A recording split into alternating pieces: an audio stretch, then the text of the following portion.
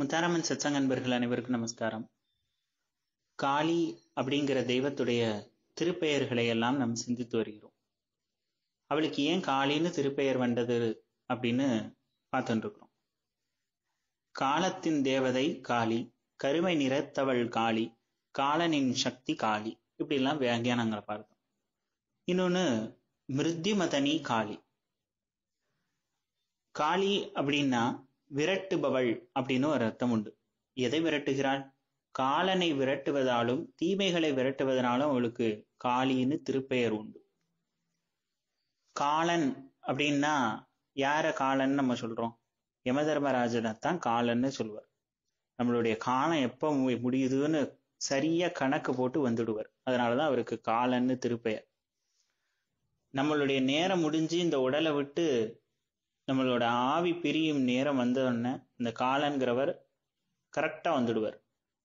கொஞ்சம் கூட சற்றும் கருணையின்றி பல கிளைகளை உடைய வேலை நம் மீது எரிந்து விடுவார்னு அபிராம் பெட்டர் சொல்றார். காலன் நினைக்காது கருணையோட இருந்திருக்கிறாரா? கருணையோட அப்பா இவன் ரொம்ப நல்லவர் விட்டுருவோம் ரொம்ப அழுறார் கஷ்டப்படுறார் அப்படின்னு யாரையாவது விட்டுட்டு போயிருக்காரா? விடவே மாட்டார். யாராக இருந்தாலும் அந்திம நேரம் வந்தோடனே பிடிச்சிட்டு போயிடுவார். மாலையன் தேட மறை தேட வானவர் தேட நின்ற காலையும் சூடகக் கையும் கொண்டு கதித்த கப்பு வேலை வெங்காலன் என்மேல் விடும்போது வெளியில் கண்டாய். பாலையும் தேனையும் பாகையும் போலும் பனிமொழியேன்னு பாடுறார் பட்டர். எப்படி வரானா? காலன் சூடக கையும் கொண்டு கதித்த கப்பு வேலை வெங்காலன் என்மேல் விடும்போது. மூன்று கிளை உடைய ஒரு ஆயுதத்தை கையில வச்சுட்டு வருவார். யமதர்மராஜா அப்படி வரும்போது அம்மா நீ அஞ்சல் என்று அபயமளித்து என் முன்னே வர வேண்டும். அந்த நேரத்துல வந்து என்னை காப்பாற்ற வேண்டும்னு பிரார்த்திக்கணும். அது அந்த நேரத்துல பிரார்த்தித்தா வரமாட்டா. இப்பவே பிரார்த்திச்சு வச்சுடணும். உலகத்துல பிறந்தவர்கள் யாராயினும் பிறந்தவர்கள் ஒரு நாள் இறந்து போவார்கள். இது இயற்கையின் பொது நிதி. இதை யாரும் மாற்ற முடியாது. எல்லா துன்பங்களிலும் கொடுமையானது மரண துன்பம். மரண காலம் அறியாதனால தான் நம்ம எல்லாரும் சந்தோஷமா இருக்கிறோம். நாளைக்கு இத்தனாம் தேதி நம்ம இறந்துடுவோம்னு டேட்டு தெரிஞ்சதுன்னா நம்மளால நிம்மதியா இருக்க முடியுமோ? இருக்க முடியாது. ஆனா அந்த காலம் தெரியாதனால அதை ஒரு மாயை கொடுத்து மறைச்சு வச்சுட்டு இருக்கிறா பாத்தீங்களா அதுவே காளியுடைய ஒரு லீலை தான் அப்படி அந்த மரணம் வரும் நெருங்கும் போது நமக்கு பயம் வரும். மரண பயம் இருக்கும். அந்த பயத்தை நீக்க இறைவனுடைய திருவருளை நம்ம இப்பவே வேண்டிக் கொள்ளணும். பயம் இருக்கக்கூடாது. எப்படி சாக போறோங்கிறது தெரியும். அந்த நேரத்துல ஒரு பயத்தோட சாகக்கூடாது. துணிந்து ஏற்றுக்கொள்ள வேண்டும். அப்போ அந்த அந்த அதை எதிர்கொள்றதுக்கு ஒரு சக்தி வேண்டும் இல்லையோ? அந்த சக்தியை கொடுப்பவள் காளிதேவி. இப்போ அப்போ அந்த நேரத்துல நம்ம அந்திம காலத்துல வேண்டக்கூடாது. இப்பவே வேண்டி வைக்க வேண்டும். தேவி ரட்சிக்க வேண்டும் அப்படின்னு. ஏன்னா அந்த மாதிரி காலனை சம்ஹரித்தவள் தேவி.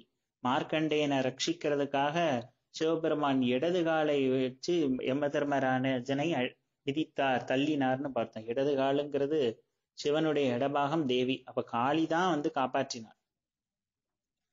மார்க்கண்டேயனுக்கு நித்தியமாக சிரஞ்சீவியாக இருக்கிறதுக்கு அருள் செய்தவள். வெவ்விய காலன் என்மேல் வரும்போது வெளி நிற்கவேன்னு பிரார்த்திக்கணும் தேவியை. அவர் எப்படி வருவார் காலன்? அடுங்காலன் என்னை நடுங்க அழைக்கும் பொழுது வந்து அஞ்சல் என்பாய். அவன் என்னை வந்து நடுங்கிறது மாதிரி அழைக்க வரும்போது நீ வந்து அம்மா பயப்படாதடா குழந்தைன்னு எனக்கு வந்து நீ எனக்கு அனுகிரகம் பண்ணணும்னு பிரார்த்திக்கணும். அப்படி அந்த பிரார்த்திக்கக்கூடிய தெய்வமாக விளங்கக்கூடியவள் காளி. நம்மளுடைய அந்த காலம் அந்திம காலம் வரும் பொழுது கரெக்டா வந்துடுவார் காலதேவன். அந்த கால தெய்வத்திட இருந்து நம்மளை ரட்சிப்பவள் காளி தேவி அப்படிங்கிறதுனால அவளுக்கு காளிங்கிற திருப்பெயர் உண்டு. அதுவும் தேவி எப்படி வரணுமா? வளையணிந்த உந்தன் திருக்கரங்களையும் கொண்டு கோபங்கொண்ட காலந்தேவன் விரைவாக வரும்போது நீ என்னை நோக்கி செலுத்தும் வேளையில் நான் மரணமடையும் வேளையில் நீ வந்து காட்சி அருள வேண்டும்னு பிரார்த்திக்க அம்மா அந்த மாதிரி யமதர்மராஜா வந்து என் உயிரை எடுக்க வரும் பொழுது அவன் எப்படி வருவான்? அந்த கிளைகளெல்லாம் கொண்டுள்ள சூடக கையும் கொண்டு கதித்தகப்பு வேலையும் கொண்டு வெங்காலன் என் மீது வருவான். அப்போ வரும்போது நீ வந்து நிக்கணும். வந்து என்னை ரட்சிக்கணும்னு பிரார்த்திக்கணும். தேவி அந்த சமயத்துல வந்து நமக்காக வந்து முன்னால வந்து காட்சி கொடுப்பாள். அவள் வந்து நின்னான்னா ஓடிடுவான் காம காலதேவன். ஏன்னா என்னுடைய பக்தனை நீ எப்படி வந்து பிடிக்க வரலான்னு தேவி நின்று சேவை சாதிப்பா இல்லையா? நீ வந்து சேவை சாதிக்க வேண்டும்னு நம்ம பிரார்த்திக்கணும். தேவியால ஆகாத காரியம் இல்லை. அவள் நினைத்தால் அனைத்தையும் செய்பவள். அதுக்காக காளியோட பக்தர்களுக்கு அழிவே கிடையாதுன்னு சொல்லுவேன். அழிவே கிடையாது முக்தி தான்.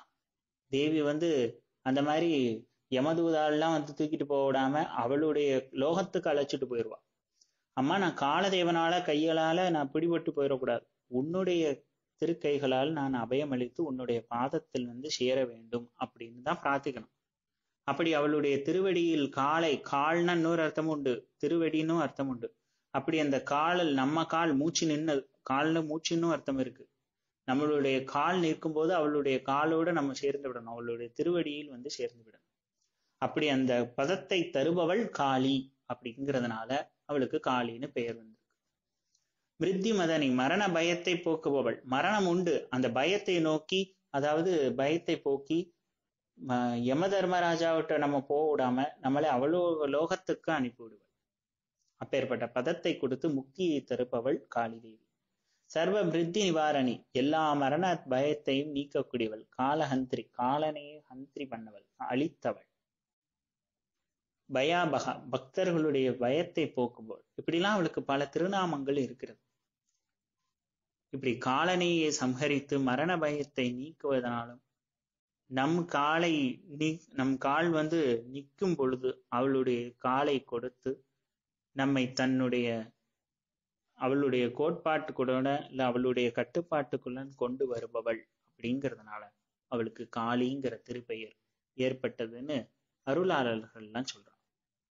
இப்படிதான் பல வியாக்கியானமாக நம்ம காளியுடைய பெயரை சிந்தனை பண்ணிக்கிட்டே இருக்கலாம். ஆனா இந்த அளவாவது முதல் கட்டத்துல நம்ம புரிந்து ஒரு புரிதல் அவசியம். ரொம்ப ஆழ்ந்து ரொம்ப டீப்பாலாம் திங்க் பண்ண வேண்டாம். காளியை பத்தி பேசணும்னா பேசிக்கிட்டே இருக்கலாம். ஏன் காளின்னு அர்த்தம் வருதுன்னு இந்த ஜென்மா முழுவதும் காணாது.